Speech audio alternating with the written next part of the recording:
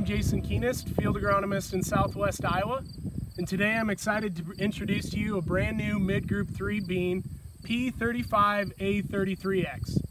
With this bean, we get the Roundup Ready 2 Xtend herbicide package that allows us flexibility in controlling tough weeds such as water hemp and mare's tail, as well as industry-leading yield potential. When we think about placement of this bean, we're going in good yield potential bottoms as well as high fertility ridge tops. When we think about those environments, we often have to face diseases that can rob yield from us. With this bean, we have good defensive traits such as SDS tolerance, frog eye leaf spot tolerance, and brown stem rot tolerance that allow us to avoid yield drag from those diseases and harness that top end yield potential. For more information on placement with this bean, contact your local field agent or your local Pioneer agronomist.